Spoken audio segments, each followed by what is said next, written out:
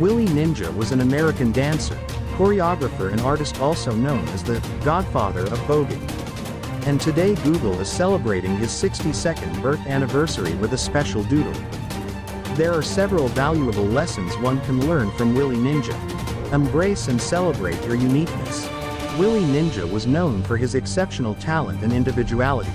He embraced his own style and personality, breaking barriers and stereotypes. He teaches us the importance of being true to ourselves and celebrating our unique qualities. Pursue your passion relentlessly. Willi Ninja's dedication to voguing and his artistry were unwavering. He tirelessly pursued his passion, honed his skills, and contributed to the development of voguing as an art form.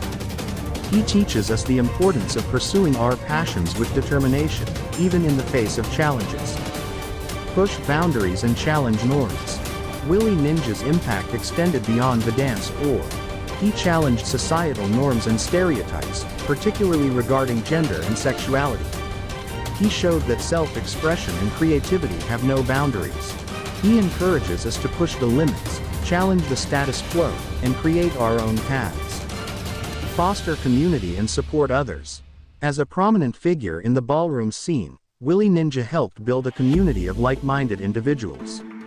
He nurtured talent, supported emerging artists, and created a space for self-expression. He reminds us of the importance of fostering a sense of community, supporting others, and creating opportunities for growth.